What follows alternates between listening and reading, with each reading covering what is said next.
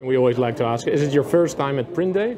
And what do you think about it? Yeah, this is my first day. It's uh, first time. Um, and um, it's cool in that sense that uh, there's a keynote of a CEO owner uh, and he is making so many jokes with his, uh, his film questions and stuff like that. And so you see there's a real good uh, atmosphere amongst the people and that it also has a lot of people that have been here before. We are here on a publishing date, uh, product experience, omni-channel. How do you see the combination of uh, PIM, product information management, e-commerce and digital publishing?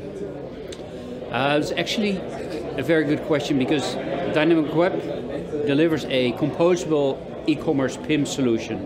And when we talk to B2B customers, because that's our primary market, we always run into challenges around catalogs, printing, uh, printing on demand, personalized printing.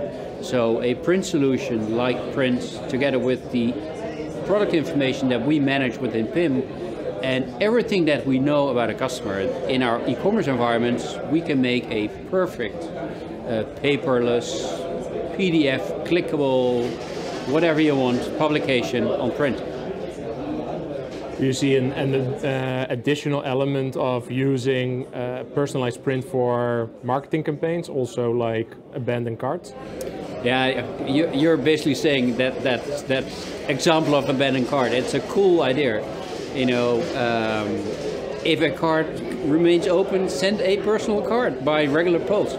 You know, you know the postman at my house doesn't. They don't bring that much anymore. So if there's something that is personalized, which is commercially personalized, I think it's a, definitely a, a regenerating activity for me and my shop.